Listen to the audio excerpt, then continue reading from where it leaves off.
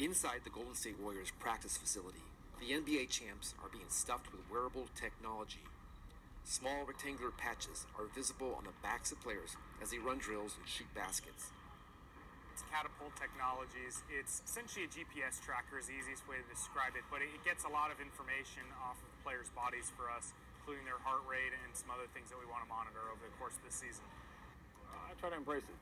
There's so much tech, especially here in the Bay Area, but so much tech that can help you in your performance that you kind of always want to you know look at it.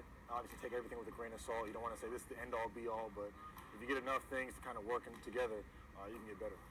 It gives us a baseline, a baseline reading for which we later use that data to make sure that players are on the, the right side of healthy.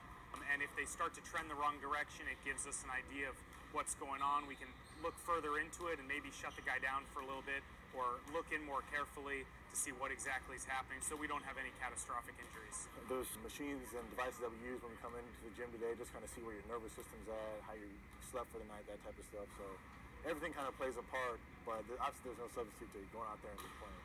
Last year, 11 NBA teams wore similar devices during their practices, and this year, eight more teams started.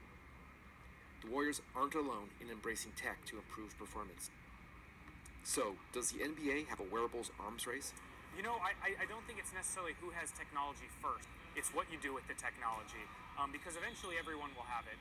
And, and the truth is, with a lot of this stuff, you don't want to be the only one to have it uh, because it won't necessarily get to the point of, of, great usefulness if not every team and every player is using it. We, we really work on the communication of our technologies and our data.